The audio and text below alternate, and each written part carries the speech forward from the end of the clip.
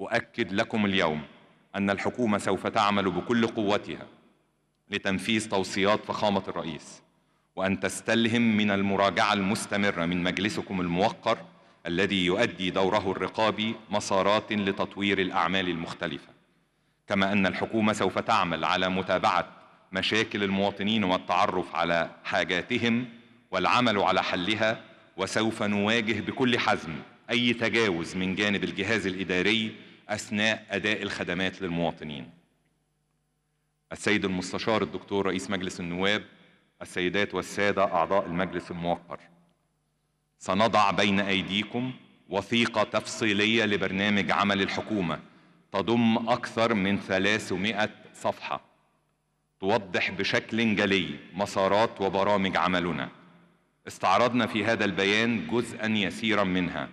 ونرحب بجميع الآراء. والتوصيات عقب دراسة البرنامج من مجلسكم الموقر لنقر معا مسارات عمل الحكومة للفترة القادمة ونحوذ ثقة أعضاء السلطة التشريعية ممثلي الشعب. تتعهد الحكومة بالالتزام برفع تقارير متابعة الأداء والنتائج إلى البرلمان بشكل دوري لضمان الشفافية والمساءلة وتحقيق الأهداف المنشودة.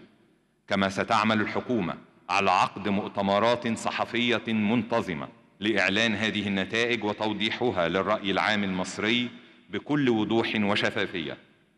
إن هذا الالتزام يأتي في إطار حرص الحكومة على التواصل المستمر مع المواطنين وإطلاعهم على كافة المستجدات المتعلقة بتنفيذ البرامج والمشروعات الوطنية مما يعزز الثقة المتبادلة ويضمن تحقيق التنمية المستدامة والشاملة في كافة المجالات. إننا نشهد اليوم بداية مرحلة جديدة من العمل الوطني. نؤكد فيها التزامنا بتحقيق ما تعاهدنا عليه ونسير بخطى واثقة لتحقيق مستهدفات برنامج عملنا في المدى الزمني المحدد. مستندين إلى نهج تنموي مستدام يلبي احتياجات الحاضر ومتطلبات المستقبل.